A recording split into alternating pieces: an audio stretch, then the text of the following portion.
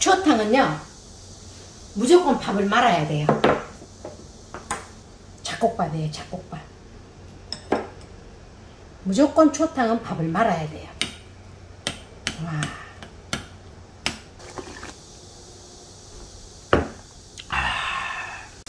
올라.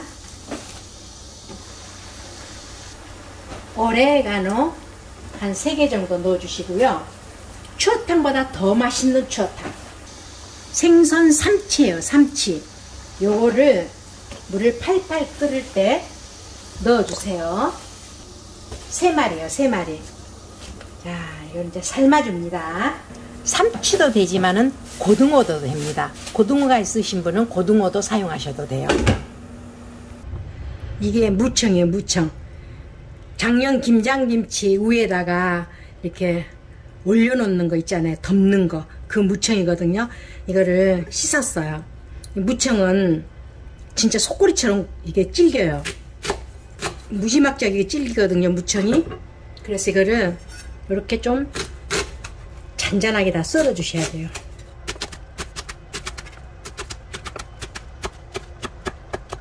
이거는 일반 솥에다 고우면 아무리 끓여도 이게 안 물러집니다. 이게 굉장히 이게 이게 물러지기 힘들어요. 요거를 압력에다가 3분만 쪼으면 물러지거든요. 예, 배추도 하나를 쫑쫑쫑쫑 썰어주세요.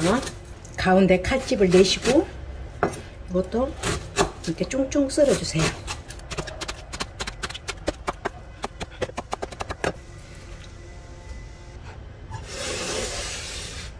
이 생선을 고, 고운 거를 생선 고운 거를 건져내세요. 여기다가 이 육수를 부어주세요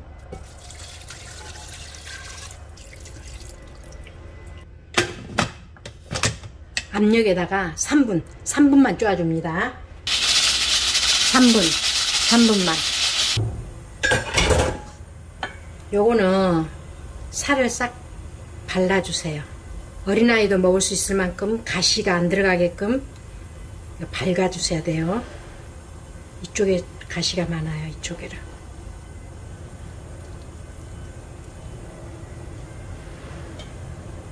생선살을 다 밝았는데요 너무 많아가지고 좀 많이 덜어놨어요. 또 다른 요리를 해 먹으려고. 이렇게 생선살 다 밝은 데다가 자 이건 푹 3분 끓인 거 넣어주세요. 음, 와, 완전 나근나근 나근나근하게 나근나근나근하게 구워졌어요. 된장 한 숟갈만 넣어주시고 여기다 된장을 많이 넣으면 된장국이 됩니다. 그러니까 조금만 한, 수, 한 수저만 넣어주세요. 너무 뻑뻑하니 생수를 좀 더 넣어주세요. 방아이파리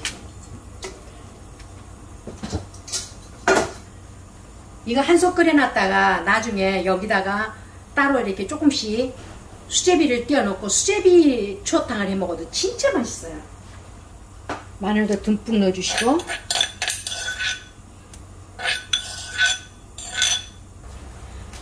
산초가루를 못 드시면 할 수 없지만 그렇지 않는 이상은 여기에 이제 산초가루가 좀 들어가야 돼. 산초가루가 들어가야 맛있거든요. 산초가루를 좀 넣어주시고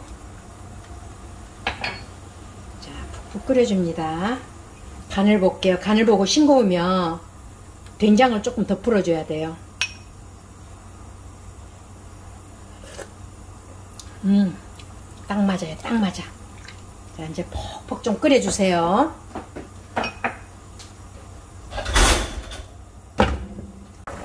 이렇게 팔팔 끓으면 불을 반 줄여주세요. 불을 반 줄여주고 이제 고춧가루 조금만 한 요 정도만 여기는 고춧가루 많이 넣으면 안 돼요.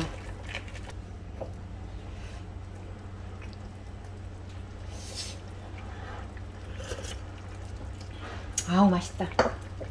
진짜 맛있다. 와.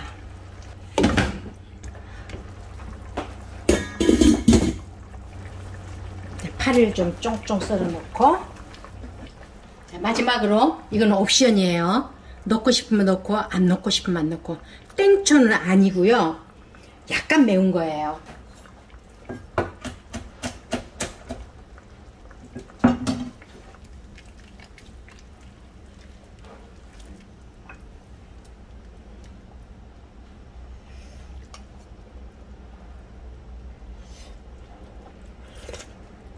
아우 맛있다. 아 진짜 맛있다. 진짜 맛있다. 와 맛있다. 추어탕은요 무조건 밥을 말아야 돼요.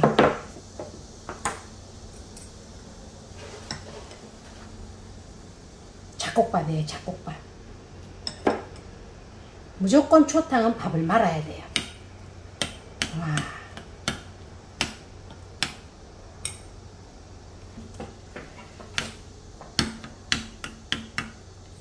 와, 맛있겠죠? 음.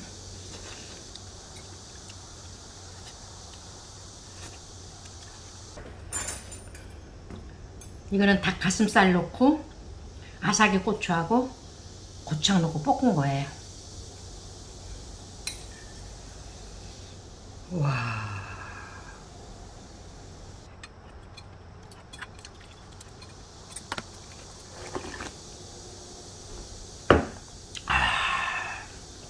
Hmm.